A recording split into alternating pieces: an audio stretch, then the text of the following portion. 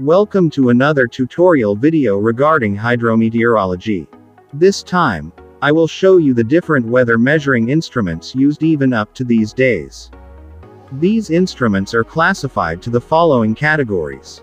Temperature measuring instruments, pressure measuring instruments, humidity measuring instruments, precipitation measuring instruments, cloud measuring instruments, evaporation measuring instruments, sunshine measuring instruments, and wind measuring instruments. Before we proceed, please like, subscribe and click the notification bell. We begin with the atmospheric temperature measuring instruments. We have the thermometer. It measures the degree of hotness or coldness of a given substance. It operates on the principle of thermal expansion of the material used. Examples are liquids like mercury and alcohol, metallic materials and more. Mercury is one of the liquids very sensitive to changes of temperature.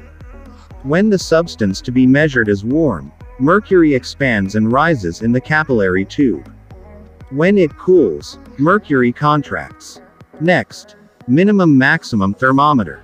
A maximum thermometer has a constriction above the bulb that permits the mercury to rise in the capillary tube but does not allow it to descend the capillary tube unless the thermometer is reset.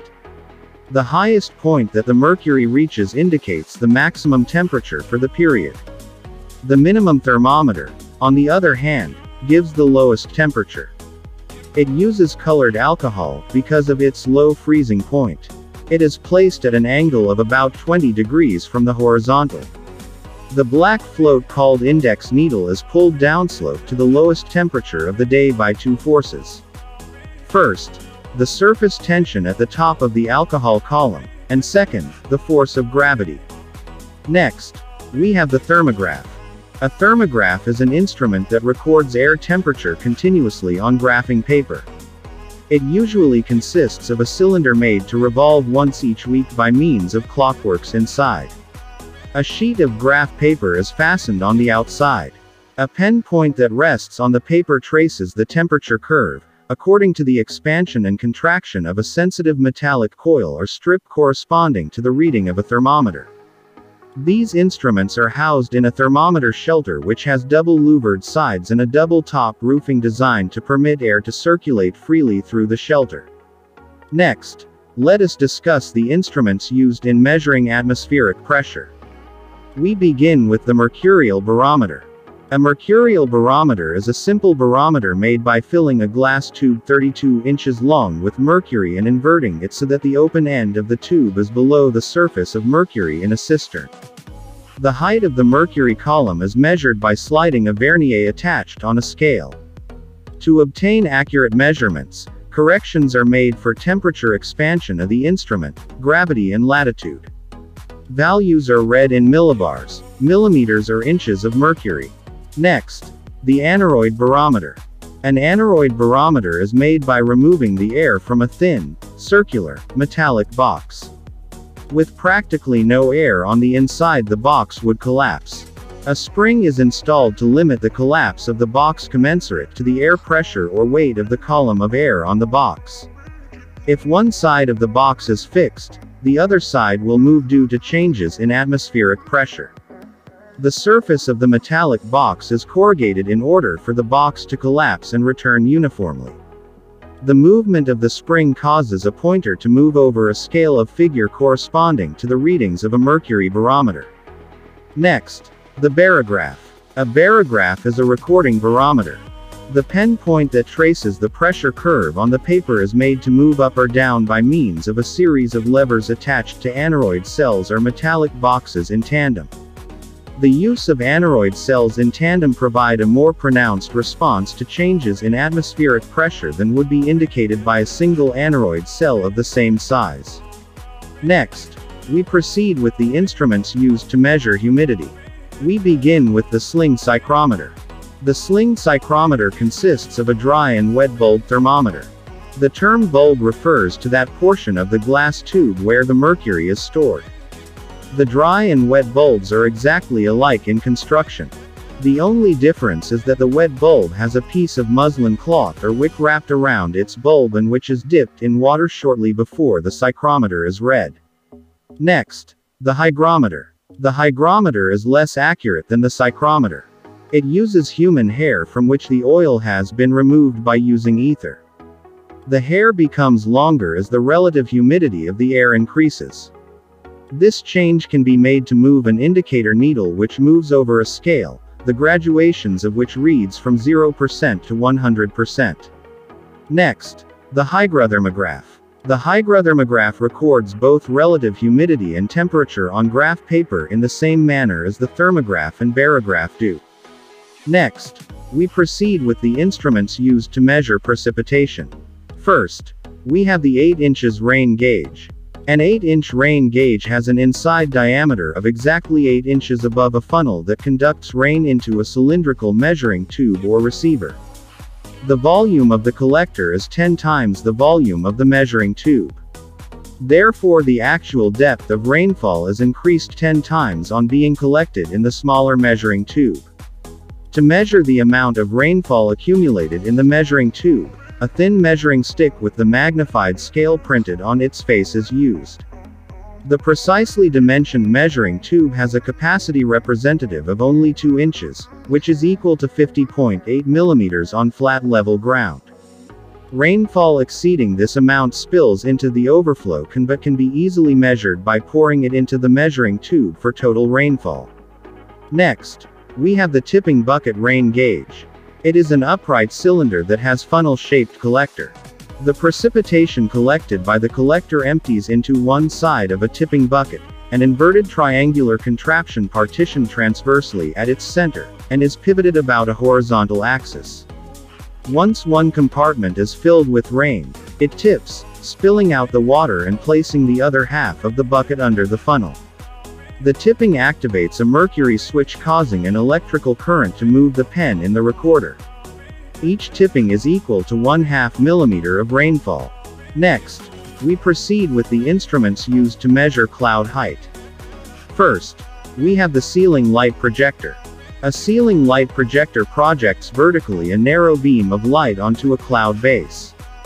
The height of the cloud base is determined by using a clinometer located at a known distance from the projector to measure the elevation angle included by the illuminated spot on the cloud, the observe, and the projector. From trigonometry, the height of the cloud base is equal to the distance of the observer from the ceiling light projector multiplied by the tangent of the elevation angle. Second, the ceiling balloon. Another way of determining the height of the cloud base is by using a ceiling balloon. A ceiling balloon is a meteorological balloon whose rate of ascent has been predetermined. It is filled with gas lighter than air, usually hydrogen, and released. The time of release and the time the balloon disappears into the cloud are recorded. The time difference multiplied by the rate of ascent will give the height of the cloud base. Next, we proceed with the instruments used to measure the atmospheric wind. We begin with the pilot balloon or also called as the theodolite. A meteorological balloon that is filled with gas lighter than air. When the pilot balloon is used in conjunction with a theodolite it is used to determine the speed and direction of winds at different levels of the atmosphere. It is similar to an engineer's transit. It consists of a sighting telescope mounted so that it is free to rotate around a horizontal and a vertical axis and has graduated scales so that the angles of rotation may be measured while tracking the pilot balloon. The elevation angles and azimuths of the balloon are recorded from the theodolite and these data at the end of the flight which may last for more than an hour are plotted to a plotting board. The wind speed and direction at selected levels are calculated either by trigonometric methods or graphical methods. Night observation is accomplished by attaching a lit paper lantern to the balloon. Next, we have the Röntgen. The Röntgen is an electronic device used for measuring wind velocity, pressure, temperature and humidity aloft.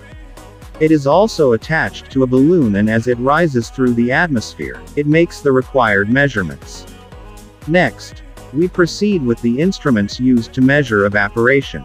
We begin with the Piche evaporimeter. It consists of a 32 cm long graduated tube of 1 cm inside diameter. It is closed at one end. The other end of the tube is open and has flat edge. There is a disc and clamp arrangement by which this end can be covered by a filter paper. The tube is filled up with distilled water. The open end is then covered by filter paper supported by the disc and the clamp. The evaporimeter is then hung in inverted position. The water in the tube is soaked by the filter paper which moves rapidly outward through the paper and ultimately gets evaporated. The rate of loss of water from the tube gives the evaporation rate. This instrument is very sensitive to winds. Next, we have the sunken evaporation pan. It is a galvanized iron pan about 183 centimeters in diameter and 61 centimeters deep. It is buried in the ground keeping 10 centimeters height above the ground. The water is filled in the pan the level of which is generally kept 1 centimeter above ground level. The rate of water loss from the pan gives rate of evaporation. Because of its size this evaporimeter gives good index of lake evaporation.